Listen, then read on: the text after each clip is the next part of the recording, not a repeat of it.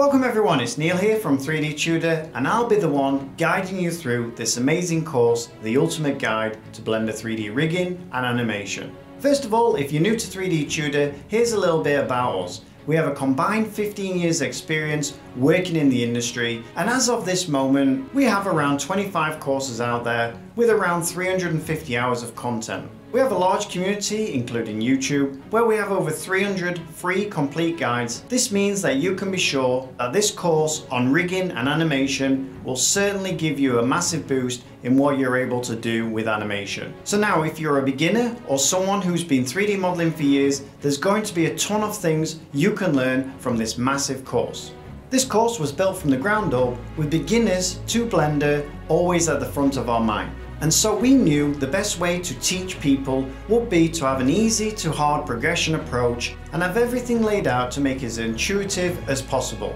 So with the blend file that comes with the course, you will see all of the different exercises you will learn throughout the course. As you can see, everything is just one click, letting you focus on your animation skills. We have produced basically everything you're going to need, all of the assets, all of the backdrops, everything is right there for you. What's more, you can start pretty much anywhere you like, but the best thing is you can use this course as a reference in the future. Just hop to the part you need an animation for and everything's right there guiding you through the process. So now let's take a deep dive into the vast array of animation skills you'll be learning throughout the course.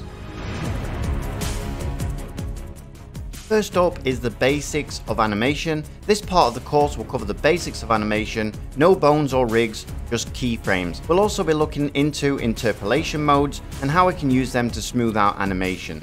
Next up, we have swing animation. Using the skills we learned from stage 1, we can take this up a notch by creating our first rig and single bones. This is the basis of most animations you'll find out there. Moving on to wheel turning, when working with anything spinning, it's important to understand how frames keys work, in this stage we'll be explaining how to create a spinning wheel. This not only has to look realistic, but needs to be achieved in the shortest amount of time possible. Moving on through the course we have basic weighting, and in this part we'll be looking at how weighting works and how to add weight to bones. This is important to create a certain level of realism. We'll also be looking at when and how to use bendy bones. Finally, for the basic part of the course, we have shape keys, which are a very powerful animation tool that we have at our disposal can not only change the shape of objects in ways that rigs simply cannot do, but we're also able to combine multiple shape keys. Now as we take the course up a notch, we're going to be talking about multiple bones, and in some point in time, you will have models that will need a lot more than just one single bone. In this part of the course, we learn how we can create animations with multiple bones working independently from each other. Of course, it couldn't be an animation course if we're not going to be covering any type of wildlife. So in this part of the course, we'll be looking at fish, and animating any wildlife in a realistic way can be pretty difficult.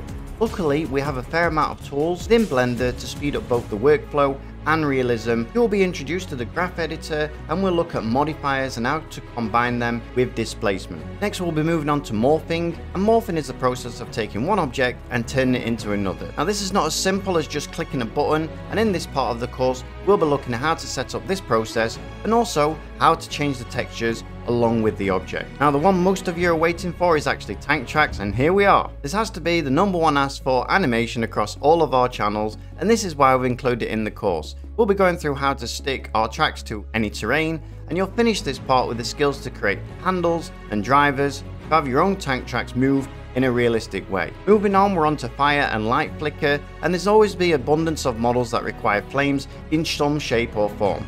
This means it's a key component of the course to learn not only how to create flames from scratch, but also how to animate them. Empties and displacement will be the key to realistic flames without the need for complex simulation. Next we're on to moth and lights. You know it's the little things that can really bring a scene to life, and in this part of the course we'll be covering object tracking and this can be used to create things like flying moths around the light source. Where the light goes, the moths will follow, all thanks to the Boid brain system, which is an amazing feature that comes with the particle setup. Also on this course, we'll be covering clouds and smoke and things like that. And in this part of course, we'll create a really nice stylized smoke effect using mainly Blender particle system with keyframes and what's best you can also then see your smoke in real time. Now again we're going to be taking it another notch in the next part of the course and this will be covering complex change. This part will involve us bringing much of what we have learned so far and applying it all together. This will involve us creating a complex rig and we'll also introduce you to inverse kinematics, or IKs for short. We'll also look at bone tracking and really take the level of learning up a notch. Finally, it couldn't be an animation and rigging course without a walk cycle,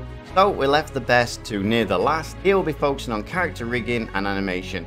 This will be done over a few lessons and there's a massive amount of learning to be taken from this. Not only will be rigging your own character, but you will learn just how easy it is to make a basic walk cycle. This is a must if you intend to create your own games and characters, and what's also a must if you want to get into 3D modeling is of course a camera turntable. This is the final part of the course before the main event, and if you ever want to show off your own 3D models, you're going to need a simple, effective camera turntable that can be easily set up. And finally, we actually put within the course a massive scene so you can actually take all of those skills that you've learned and test them out by creating things like rolling boulders, shaking ceilings and much much more. This will be a really great way to finish off the course putting everything that you've learned into practice. So as you can see it's a massive course but a course you'll look at time and time again.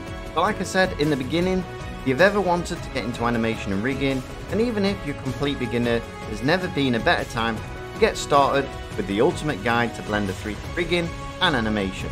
what are you waiting for? Come join me on this course and see how far your imagination will take you. Happy modeling everyone!